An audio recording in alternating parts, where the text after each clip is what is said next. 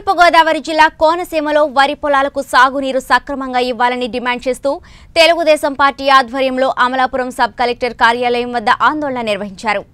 మాజీ ఎమ్మెల్యే ఐతాబత్తుల ఆనందరావు ఆధ్వర్యంలో జరిగిన ఈ కార్యక్రమంలో రాష్ట్ర తెలుగు రైతు అధ్యక్షుడు మర్రెడ్డి శ్రీనివాస్ రెడ్డి ముఖ్య అతిథిగా పాల్గొన్నారు. నీటి ఎద్దడి వలన వరి పొలాలు ఎండిపోతున్నాయని వీటిని కాపాడాలని డిమాండ్ చేశారు. ఏప్రిల్ పదిహేనవ తేదీ వరకు గోదావరి పంట కాలువలకు సక్రమంగా నీటిని పంపిణీ చేయాలని కోరుతూ సబ్ కలెక్టర్ కార్యాలయంలో వినతి పత్రం అందజేశారు.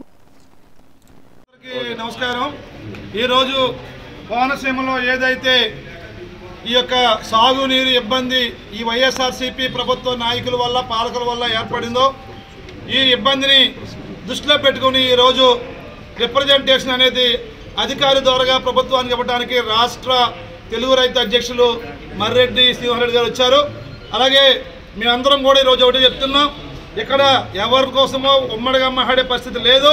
ఖచ్చితంగా ఈ అరవై గ్రామాల అసెంబ్లీ నియోజకవర్గానికి సాగునీరు ఇవ్వాల్సిన బాధ్యత కోనసీమ తూర్పుగోదావరి జిల్లాలో సాగునీరు ఇవ్వాల్సిన బాధ్యత అటు వ్యవసాయ మంత్రి కన్నబాబుకి ఇటు సాంఘిక సంక్షేమ మంత్రి విశ్వరూప్ గారికి ఉంది.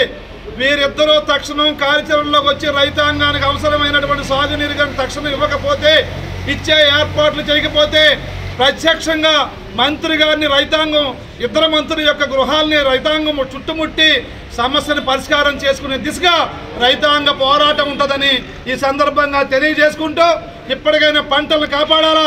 ఎందుకు మీకు ఈ ప్రజలు ఓట్లేశారంటే మీరు ప్రోటోకాల్ అనుభవిస్తూ కేవలం ప్రజలకు దూరంగా ఉంటారని కాదు. తక్షణం ప్రజలు ఏదైతే ఇబ్బందులు పడతారో మీరు చేసిన వాగ్దానాలు చేయడం గొప్ప కాదు. ఈరోజు డెల్టా ప్రాంతంలో ధవళేశ్వరం ప్రాజెక్టు ఆంధ్రప్రదేశ్కే తలమానికమైనటువంటి అన్నపూర్ణగా పేరుగొందినటువంటి గోదావరి జిల్లాల్లో ఈరోజు రైతుకు చెప్పలేనటువంటి కష్టాలు వచ్చినాయి ఈరోజు రైతాంగం తీవ్రమైనటువంటి మనో వేదనకి గురై ఉన్నారు గత సంవత్సరం వచ్చినటువంటి తుఫాన్లు వరుసగా ఆరేడు తుఫాన్లు వచ్చినాయి అధిక వర్షాలు వచ్చినాయి. ఖరీఫ్లో వేసినటువంటి పంట తీవ్రంగా నష్టపోయారు.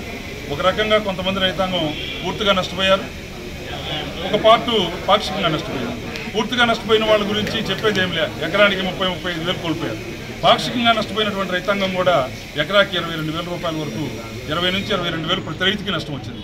ఇక్కడ ఖరీఫ్ సీజన్లో ఒక్క రైతు కూడా పూర్తిగా పంట చేతికొచ్చి ఒడ్డెక్కినటువంటి పరిస్థితి లేదు. అందరూ ఎంతో కొంత నష్టపోయి ఉన్నారు. దానికి తోడుగా ఈ తుఫాన్ల వల్ల వచ్చినటువంటి ఈ పొలాల్లో వచ్చినటువంటి తేడా వల్ల అంటే రబీ కాలపు ఊడ్పులు కూడా లేట్ అయింది కొంచెం మందగా మ- మందంగా మందగడుగా సాగినాయి. ఆ సాగే క్రమంలో మొదటి విడతలో ఈ ప్రభుత్వం యొక్క బాధ్యత లేనితనం వల్ల నీటి కొరత ఒకసారి వచ్చింది. దానివల్ల ఇంకొంచెం ఊడ్పులు లేట్ అయింది ఈ లేట్ అవుతా వస్తున్నటువంటి దాంతో అంటే క్రాప్ సీజన్ కొద్దిగా ఒక నెల కాలం నెల నెల పదిహేను రోజులు వెనక్కిపోయింది. దీన్ని పట్టించుకోకుండా ప్రభుత్వం వాటర్ మేనేజ్మెంట్ లేదు. రెండు పాయింట్ తొమ్మిది మూడు టీఎంసీలు ధవళేశ్వరం ప్రాజెక్టులో వాటర్ ఉండాలి. ఈ రోజు అది రెండు పాయింట్ ఒకటికి రెండు పాయింట్ సున్నా ఐదుకే ఈరోజు ధవళేశ్వరం ప్రాజెక్టులో వచ్చింది. ఈ చేతకాని ముఖ్యమంత్రికి ఇవన్నీ ఏం పట్ల? గతంలో ఇలాంటి పరిస్థితులు వస్తే ప్రాజెక్టులు ఎప్పుడైనా నీళ్ళు తగ్గుతూ ఉంటాయి పెరుగుతూ ఉంటాయి. అయితే సీలేరు నుంచి పవర్ జనరేషన్ ద్వారా కానివ్వండి